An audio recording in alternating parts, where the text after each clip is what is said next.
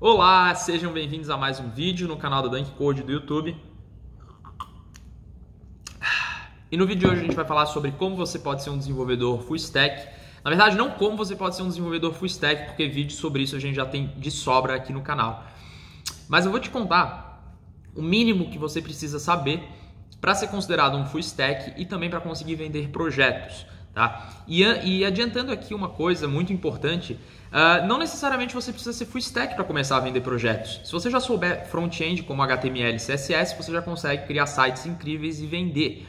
Tá? Ah, Gui, mas onde é que eu vendo esses projetos? Você pode vender na sua cidade, você pode vender online, né, divulgando seu serviço através das redes sociais, ou se cadastrar em sites de freelancer como Orkana, uh, Freelancer tem sites também internacionais, caso você saiba falar inglês, você vai sair na frente, vai ter mais mercado para atingir.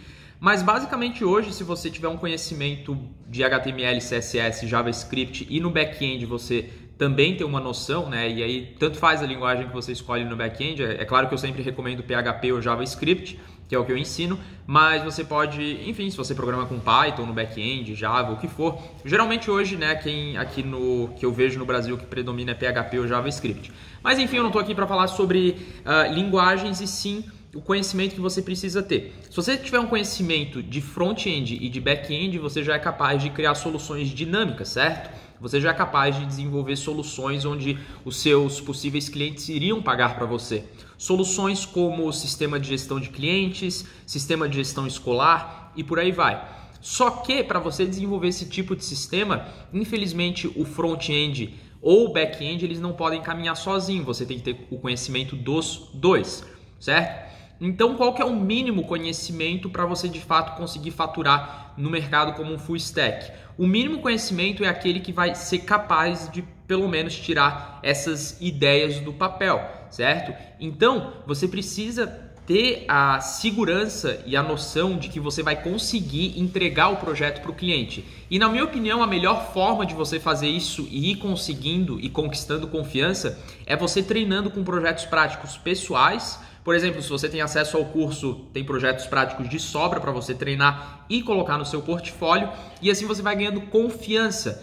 E assim que você já se sentir seguro que é capaz de desenvolver algum sistema, eu não pensaria duas vezes em ir no mercado, ir atrás de clientes, se cadastrar em site de freelancer, porque você já pode começar a ganhar dinheiro.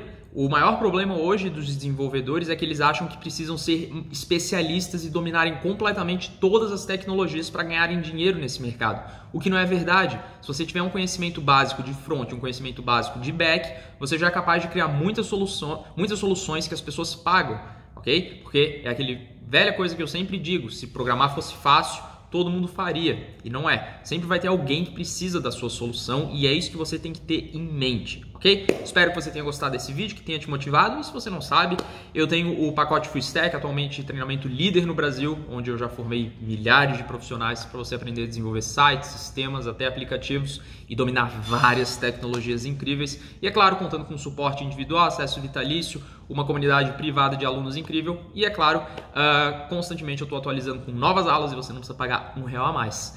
Comenta aqui embaixo o que você achou do vídeo, ideias para vídeos também, deixa o like, se inscreve e a gente se vê na próxima. Até mais!